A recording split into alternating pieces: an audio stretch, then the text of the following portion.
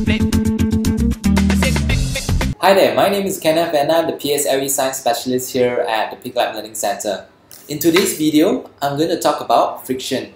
So right now I'm going to teach you how to answer friction questions. When we talk about answering questions in section B, we always try to use as many template answers as possible so that our answers are perfect all the time. Okay, so the keyword here is that every time we mention friction, we must always say that it is between the surface of something and the surface of something. And what are the related concepts here?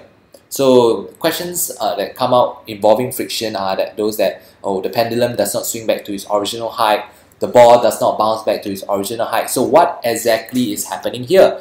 How do you answer this kind of questions perfectly? Okay, so right now I'm going to release my template answer.